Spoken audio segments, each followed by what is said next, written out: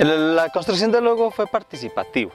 Eh, nosotros tuvimos la colaboración de unos líderes nodales que tenemos, que ellos representan al gremio cafetero en cada una de sus veredas y con la junta directiva. El logo hace parte de un proceso grande que traemos con ellos que es el direccionamiento estratégico, en el que trabajamos la misión, la visión, eh, valores, eslogan y entre esos el logo. Eh, en esas mesas de trabajo que hicimos,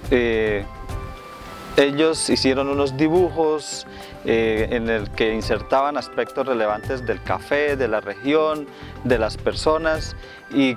luego hicimos un concurso de todos los dibujos, eh, elegimos los mejores, esos dibujos los llevamos a, una persona que, sabe de estos temas, a un diseñador gráfico y él nos hizo eh, cerca de 10 bosquejos con lo que las personas habían dibujado y luego lo sometimos